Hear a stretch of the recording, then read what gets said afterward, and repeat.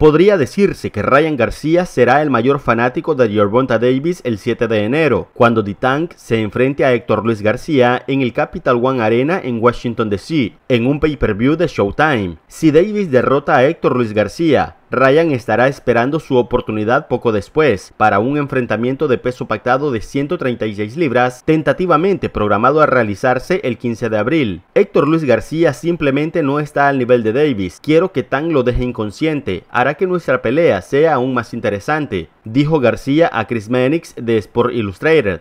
El 16 de diciembre, García declaró que estaba renunciando a una pelea de preparación en enero con el único objetivo de pelear a continuación contra Davis. Ya terminé, estoy listo para ir inmediatamente tras Yarbonta. No se trata de dinero para mí, simplemente no estoy interesado en las peleas fáciles. Podría haber estado peleando contra cualquiera y ganar una cantidad decente de dinero, pero para mí se trata realmente de la grandeza. He trabajado muy duro para llegar a este punto, luché por todo toda mi vida, me he promocionado muy bien y he hecho todo lo posible para llegar a este punto en el que hago que suceda una mega pelea, manifestó Ryan. García también aludió a tener que hacer concesiones durante el proceso de negociación para que la lucha fructificara. Uno de los principales puntos conflictivos fue si Showtime, que ha distribuido las peleas de Davis a través de PBC, o Dazón, que distribuye las peleas de García a través de Golden Boy Promotions, llevarían el evento. El pay-per-view estará a cargo de los equipos de transmisión y producción de Showtime. La super pelea también se puede comprar en Dazón, pero no es una empresa conjunta.